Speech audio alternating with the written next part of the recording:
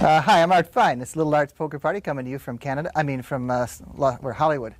Uh, a beautiful day in uh, 1989. Uh, we got some uh, regular guys and a very special guest. Regular guy number one, it's Todd Everett. Todd, If I'm not a regular guy, I'd just like to know who you know the three of you uh, lined up there kind of look like dating game. yeah, Bachelor number two. You have been on I twice. twice. Do you, they still run? Uh, mm, I don't think so. Yeah. You won a date, didn't you? I won one and I lost one. With your powers of persuasion. Yes. Good. Well, I hope you're that good today. Next to him, we got Gene Sculatti. Gene, Hi, it's yes. good to see you again, man. Thank you. Good to be here. Uh, Thank you. writ something in California Magazine. Uh, that's didn't you? right. February issue of California Magazine. And you wrote something about an absurd, exaggerated nightclub. yeah, about the trendy nightclub scene in Los Angeles. That's right. I read that thing halfway through before figuring out that it was a joke. I will have to say that it's so close to what the Herald Examiner, for one, writes in their society column, and I'm hip, yeah. you know various and assorted other people do the same sort of thing. Did, what sort of response did you get from that? The same thing. Like, my mother believed the whole thing. Uh-huh. And Great. so did a lot of other people. Well, thanks a lot, guys. Next to him, we got Ken Barnes. Ken? Ken's from radio and records, aren't you? true. And a, and a great deal, a great record collector, and, a, and a just generally a great guy.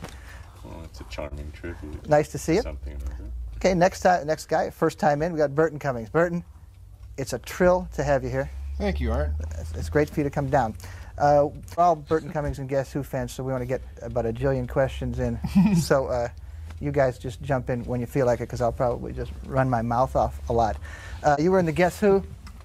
Yes. The Guess Who. For um, about 10 years. I was there from 66, early 66 till late 75. I sang all the records, wrote most of the songs.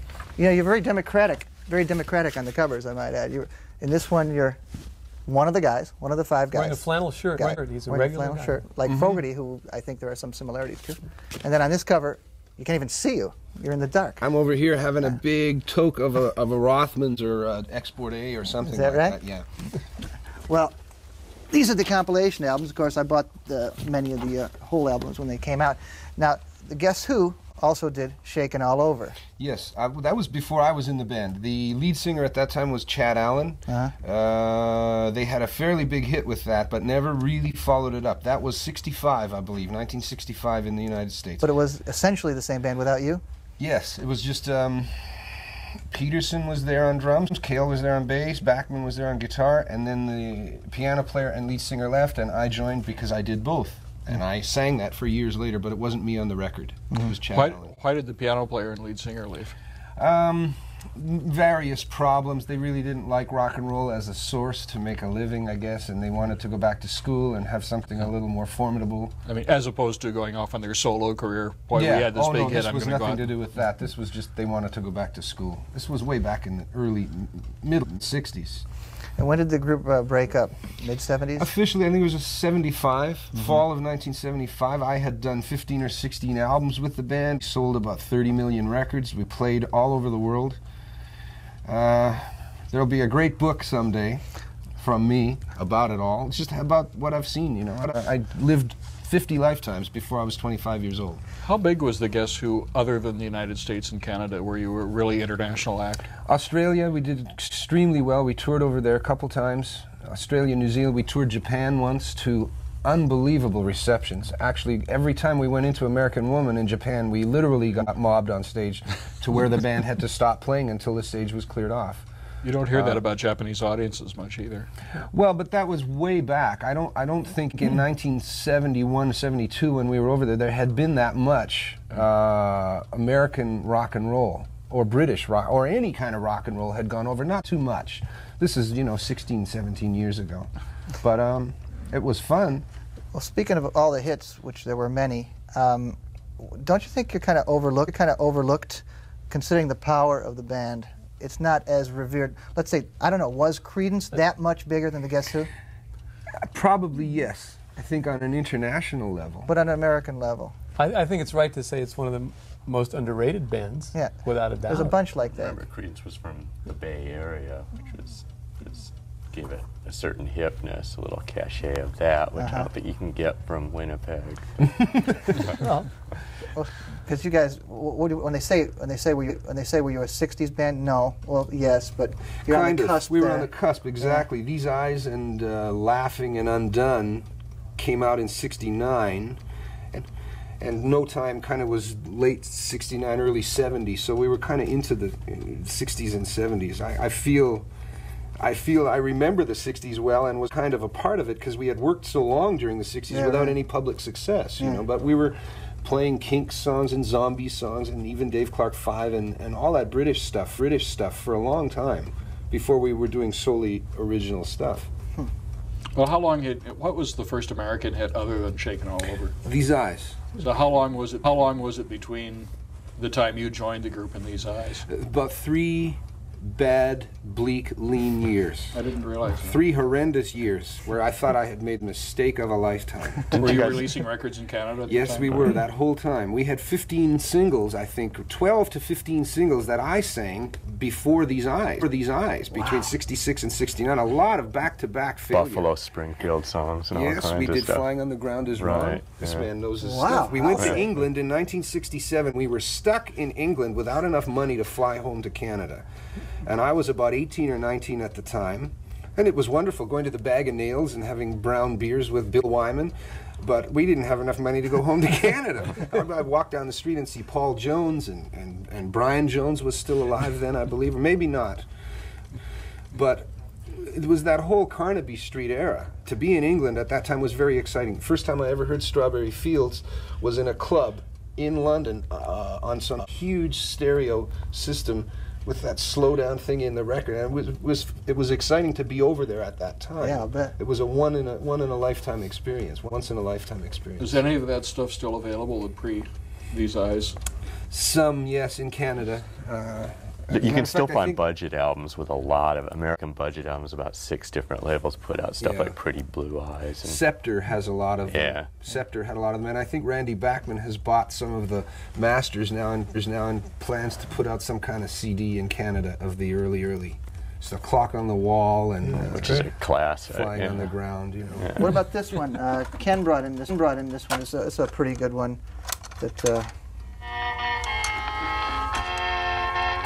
The Deverons. Where did you find that? Wow. Absolutely. She's my lover. I was about 15 or 16, I think, when we did this. She's my lover. Wow. I want her back again. Lost love. Farmer John. This is after I had left. Oh, yeah. But I was two- wondering that's about that, unbelievable yeah. that you have these. I'm very impressed. does it say? In fact, I found She's Your Lover in It L.A. says on here, too. it actually has my name listed as a writing credit. I'm very impressed. That's unbelievable. Yeah, It's a neat record too. Holy So that's what Reo is. I wonder what that label was. I've got uh, Reo, Chanel yeah. or something on that. Yeah, the, Reo was part of the quality chain. They, I guess they what they did was lease Quality. mostly The leased Beaumarks. master. Yes, Right. Yeah, yes. Beaumarks. And- Well, and do you have that Shannon album? Do you have the Beaumarks album? With clap your hands and Yeah. Babyface. It's really tough. I mean, it's really a it is live hard one to at get. the Cock Door that's very, Really? very good live. Yes, Beaumarks live, very, huh? very rare. They are Yeah, expensive, yeah. Yeah. I think the Beaumarks got reissued though. But, where I got so you made two records with the Deverons? Two, or? two singles. Uh, 1965, they were cut. Um, they were, we recorded the first one at a radio station. We snuck in overnight, did four cuts, and two of them ended up on that single. Then we, we went to Minneapolis and cut Lost Love and Feel All Right and a couple other things that disappeared. It didn't really sell a lot, but it was enough to get us on the radio, and I was still in high school at this point. I was still going to St. John's High, so to have a record on the radio while I was still in school was really status with a capital S. I'm telling you. I would walk down the halls and heads would turn and he's on the radio. So that was to me that was probably one of the biggest thrills ever, you know. Hey, they still do, you know. Heads turn all the time, and also because of the Guess Who, then there's the solo career with Stand Tall and some other things on Portrait. Portrait, yeah. The first portrait. As a matter of fact, yes, I have the distinction of being the guy that launched Portrait Records. Cyndi Lauper owes me her soul. Cool. I see, I see. Not to mention Billy Vera, wasn't he? Oh no, that was Alfa. Sorry. That Uh, was all. yes, that was Alfa. Yeah, okay. Separate set of And then, and then what, what we didn't what we didn't bring in was the movie called Melanie. Melanie. Uh, Gene Sculatti had never heard that I had done a movie. Wow. Thanks a I- lot. I'm sorry. My old pal who wrote great stuff about me all the time in the 70s So for, did I, Cream, so for did I. Cream magazine. I wrote stuff in the Variety for you. I apologize. what was the other movie? But at Was least you knew about the movie. Yeah, this right. is the point I'm making. Yeah. That he didn't even know that I had Well, done we a film. Well, he doesn't watch You said his you can still case you can still buy it enough. today, right? Or I'm a can I- Stanislavskian thespian. It's- Apparently, yes, you, can- you can get the film. Yeah. It's, it's called Melanie. It starred Glynis O'Connor, Paul Sorvino, myself, and Don Johnson, actually.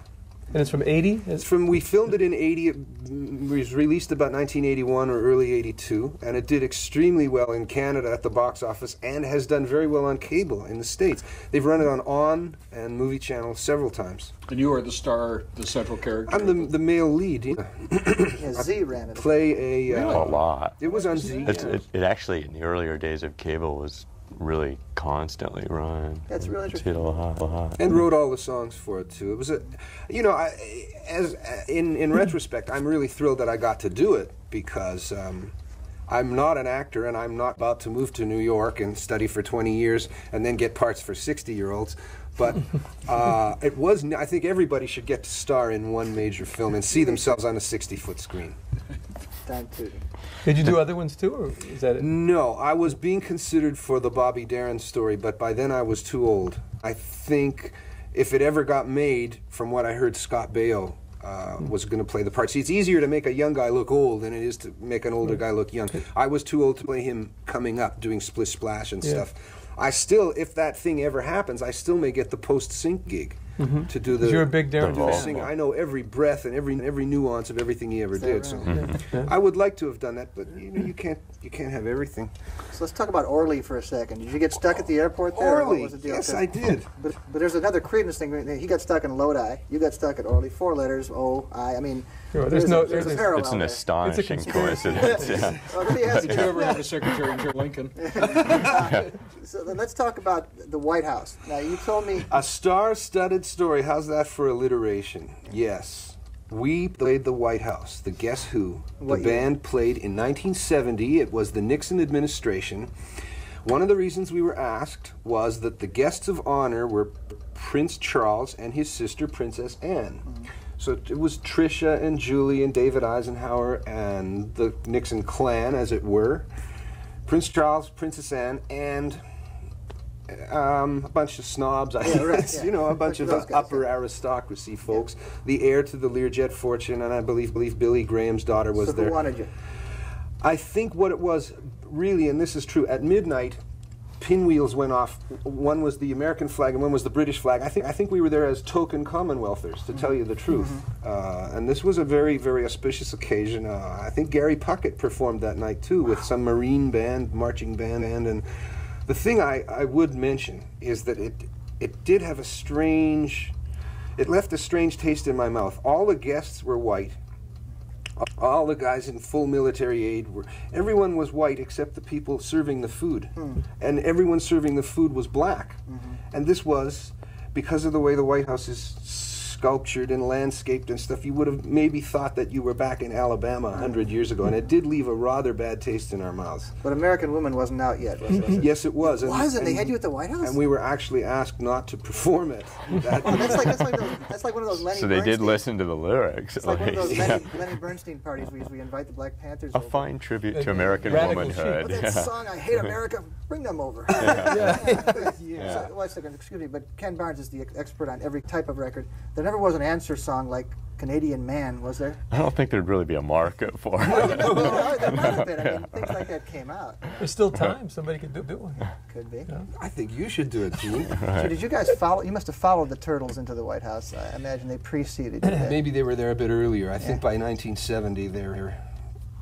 I don't think they They're- were in No, the they were- top five anymore, but They were about broken up. uh, almost, yeah. Oh, right, I think they were- Howard and Mark went on, you know, for a while afterwards. But I think Chuck and the rest of the guys in the band had left by then. Yeah. So what about what about this political compromise then? What were you doing? American women. Oh, y'all come to the White House. We sure. uh, we were asked not to do that. We we sang uh, "Hand Me Down World," which in our own little way was kind of the same thing, I guess, but just without the country being named. It was just Right. it was like. You know, the planet is screwed, so okay. I'm, as opposed to just America, this one's about the whole planet. Um, it was, I, I tell you, I w- I wouldn't tr- trade the experience. In retrospect, it was probably a stupid thing to do career wise, but uh, I enjoy the fact that I've been there and, and I got taken right through the White House and saw all the paintings and, and got the sense of that crazy feeling of power there in Washington. It was really nuts. Well, I always enjoyed the politics, even when I didn't understand them. I mean, Gene and I used to enjoy, like, for example, what did we play a little of a, a second ago? Uh, Where'd you get the gun, boy? Oh, we Rain I s- Dance. Rain dance. Rain Dance, yeah. I sort of enjoyed the sort of irate manner of it. I didn't know what you were mad about. I mean, I, I used to enjoy that in the just shows sounds too. It was kind of furious during the live shows, and I still, he's mad. That's great. You know, I, I it was around the time I had written a song called Guns, Guns, Guns, too. This was back in the early 70s when, when there were no metal detectors at airports. You could still fly. The hunters used to come up. 20 and 30 at a time. They'd get on the airplane and they'd all check their rifles at the front door. It was like there was enough guns to start a bloody war at the beginning of these commercial, at the, at the front of these commercial flights, you know, and, and uh, it really used to uh, tick me off. So I, anything, I was very anti-guns for a long time. You know, now that I live in LA, of course, uh, maybe my view has changed a bit. But back then, I, I just didn't like the idea of all these American guys dressed like Elmer Fudd with these big elephant guns coming up to kill our ducks and our deer. You know, I said, well, you've, you've blown all your own away. Now I guess you want to start on ours. And that was really my attitude, and that's why I wrote Guns and Rain Dance was just, it all revolved around that one phrase, where'd you get the gun, John? Just anti-gun stuff. Why do you live in Los Angeles? Um, I moved here originally in the 70s to, to learn how to produce my own records, to make better records. And I'm a firm believer that this is where trends start for musicians. Um, all the latest technology, the minute Japan invents it, I believe they send it to Los Angeles. I, I've seen all the latest samplers here first. I've seen all the latest software for computers here first. Um, I'm a big Lakers fan, huge NBA fan. I, I think the radio here is also the best in the world for what it offers you scanning the dial. I can just sit with a pair of earphones and scan the FM dial for hours at a time and hear everything I want to hear. Best radio, the weather is great. I'm a basketball fan. I like the television. And um, it, it is, quote unquote, laid back. I hate when people say that, but it is true.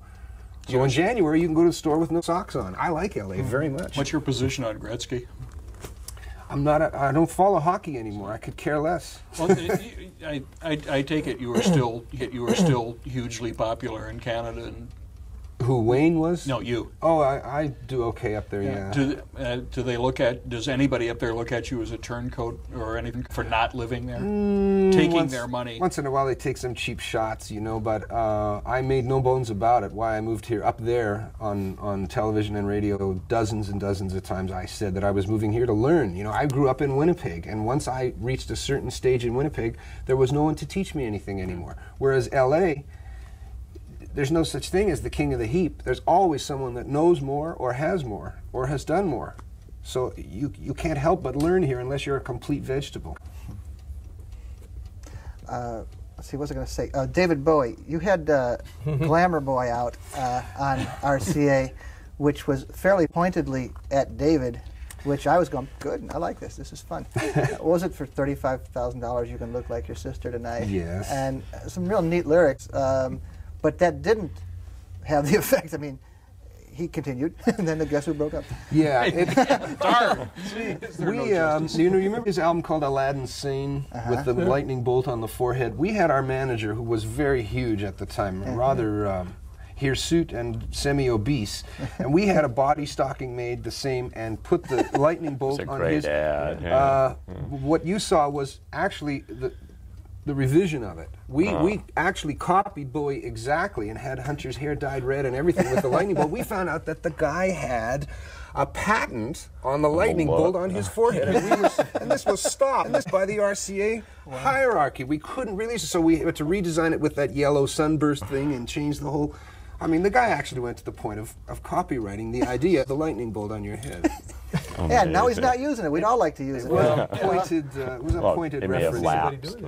Lapsed. I felt very threatened by the glam rock situation. I, we were a very um, unpretentious band. I always thought we wore the same clothes during the day that we did that night on stage. We never wore makeup. We, we just the music was what mattered. Period. To hell with the presentation. To hell with the visual. You know, this was before videos, when mm-hmm. everyone had to look like Simon Le Bon, mm-hmm. and and we just cared about music. Period. So mm-hmm. so really, we felt very threatened when when the Stones, I think, really were the first ones that I recall using makeup. Around the mid '60s, Jumpin' Jack Flash time, I saw some video with. They had taken a page out of the book of 2001. Remember the gang in 2001 with the, the Oh, yeah, makeup. Clockwork Clockwork Make- that's Orange. what- uh, pardon me, pardon me. Yes, Clockwork Orange. And uh, I think that's really where it all started. We felt very threatened, so I wrote that kind of as my little statement against what I, what I didn't, what I didn't like. Yeah. well, what about your position on RCA? You you got in there after the Jefferson Airplane. You started having hits. Mm-hmm. For a time, you must have been the biggest, one of the biggest, the biggest. Do you know if you did better than, let's say, the Airplane? Because your Oh, singles were so big. Well, the Airplane were big. You saying No, they did I, I think they had, you had many more hits. We had more hit singles. In 1970, we sold more singles than any band in the world. So that was a, a really a, quite a year. 1970, uh, we sold a pile of records and made an awful lot of money. Oh, how was your contract, by the way? Was that fair? It wasn't the greatest, but it was okay, considering that, that very few people knew about um, royalty rates. Was it more than five percent? Oh God, no! Back then, No. Back then, no. But it was it was reasonable considering that we we were from Winnipeg. I mean, getting anything, get all if you're from Winnipeg was great. If you were black, they just would have kept it. That's right. Yeah, they just wouldn't have given it to you. That's right. No one knew about publishing until until I think well into the 70s. First person I ever recall that had his publishing from day one was Elton John. Mm-hmm. And that's why he's one of the wealthiest people in rock and roll because he and Bernie had it all from day one. Mm-hmm. Can you imagine being on the radio for 20 years and having all the airplay money?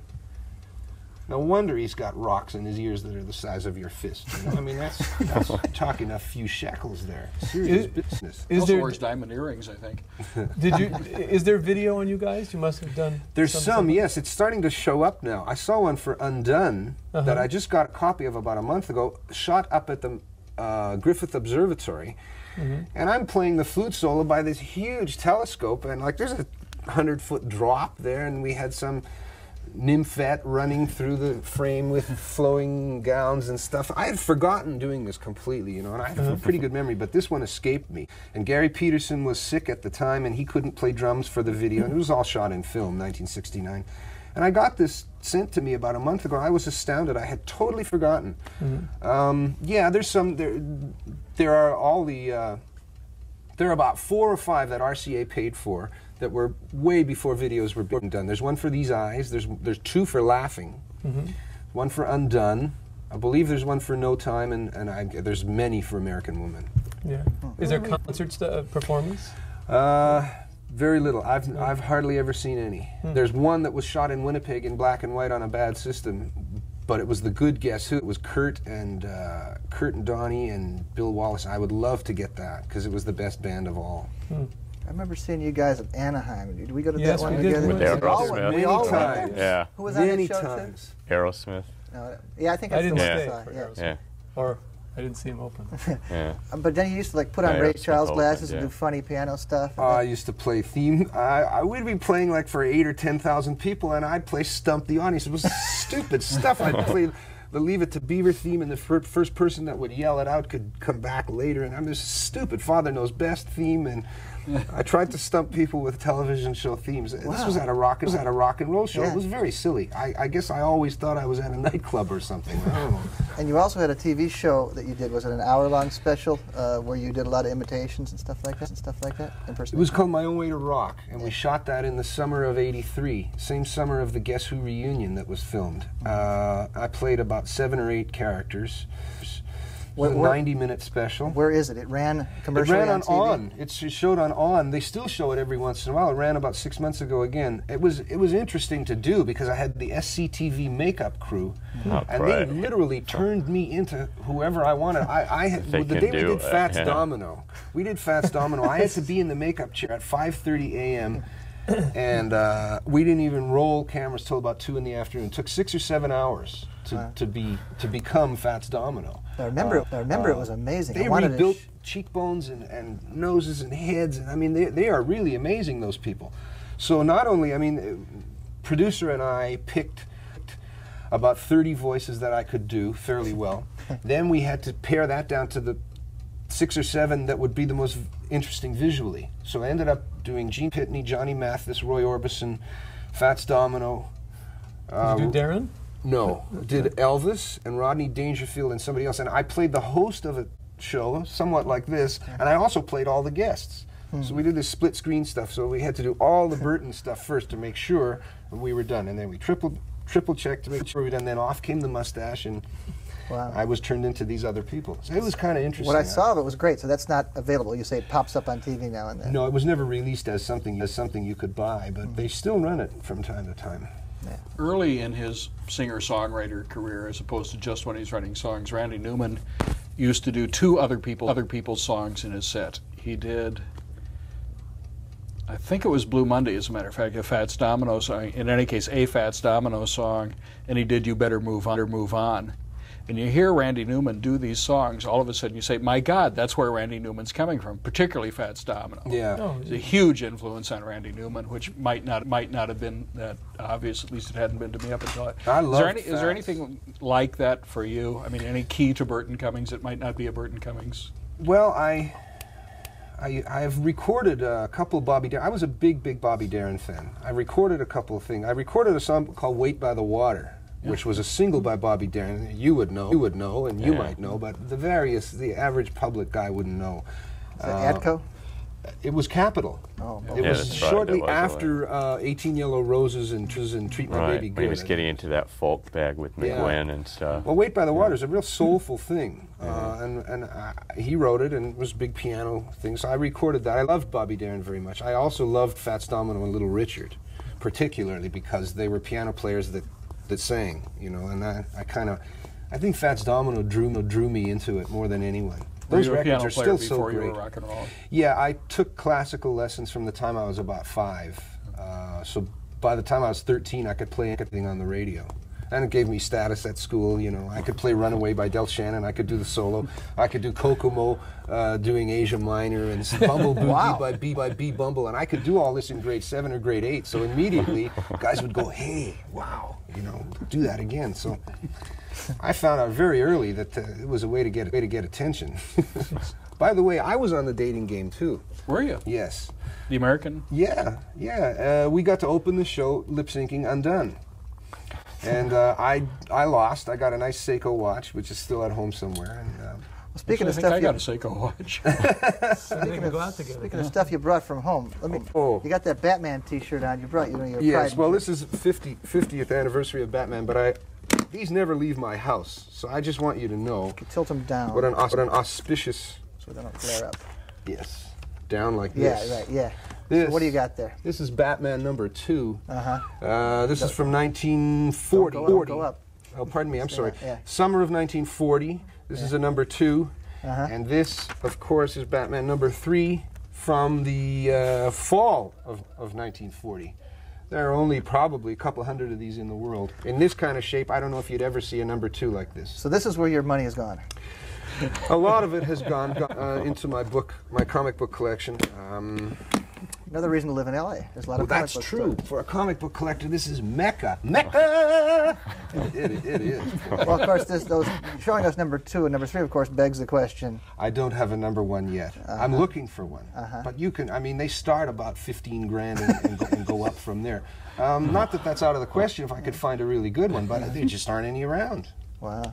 Well, the Deverons record might go for 30. ah, yeah, yeah. Oh, have you seen his Deveron's record on auction lists? That's where I got one of them. Really? Yeah, the other one I found in Santa Monica, which was very strange. But I'm um, quite fl- flattered I didn't, I didn't know that. You know, we're talking over the exit. We're all going to bring.